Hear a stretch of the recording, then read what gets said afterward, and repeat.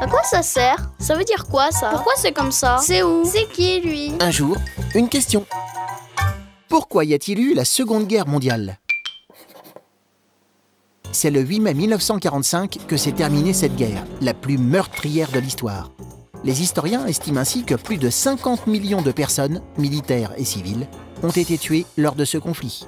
Pour comprendre ces causes, il faut revenir à la fin de la Première Guerre mondiale, en 1918.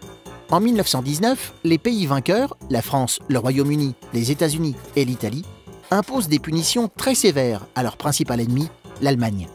Les Allemands doivent payer des sommes énormes et doivent rendre les régions d'Alsace et de Lorraine à la France. En 1933, Adolf Hitler arrive au pouvoir en exploitant l'idée que le chômage et la pauvreté en Allemagne sont de la faute des pays étrangers et des juifs.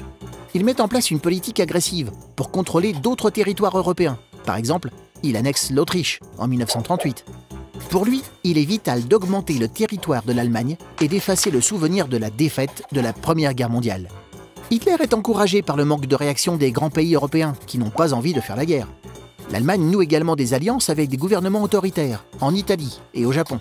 Le 1er septembre 1939, continuant sa conquête d'autres territoires, l'Allemagne attaque son voisin, la Pologne.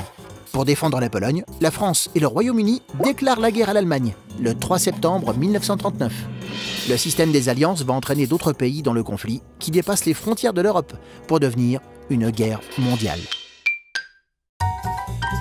Tu te poses des questions? Nous, on y répond.